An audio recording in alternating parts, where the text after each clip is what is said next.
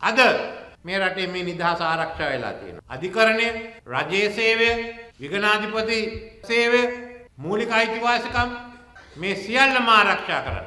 අද අපි ස්වාධීන කොමිෂන් පත් කරා විතරක් නෙමෙයි ඒවා නියම ලෙස ක්‍රියාත්මක වෙනවා කියලා මම කියන්න කැමතියි. අන්න ඒකේ ප්‍රතිඵලය අද බය නැතුව අධිකරණයෙන් තීන්දුව දෙනවා. අපි දැක්ක එදා ඔය අපි දැක්ක තියෙන අධිකරණයේ දුන්න නිර්වීත තීන්දුව.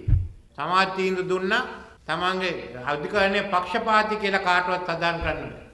අපි දැක්ක මේ රටේ දේශපාලන අයිතිවාසිකම් ආරක්ෂා කරන්න දවස් 52 තුල අපේ සිවිල් සමාජය ඉදිරියට ආවා. ඒක අපි ආරක්ෂා කරනවා. වෙනත් රටවල නැති වෙනවා. අයිතිවාසිකම් අපි ආරක්ෂා කරනවා. මේ නීති රීති නිසා අද විනිවිදභාවයක් තියෙනවා.